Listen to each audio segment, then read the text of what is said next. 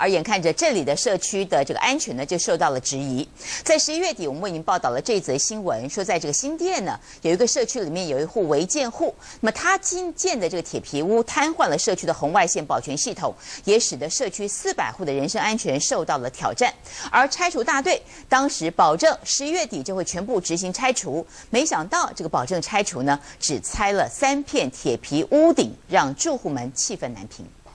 个拆除大队来了以后，发觉还是翻版，我们是很诧异，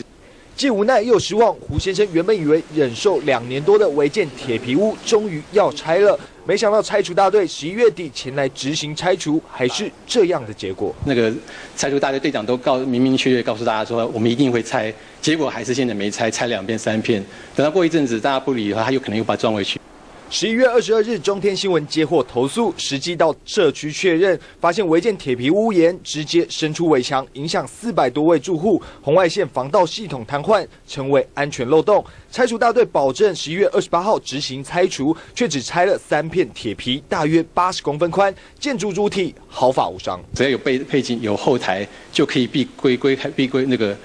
呃规避这责任的话，那是不是我们守规矩的人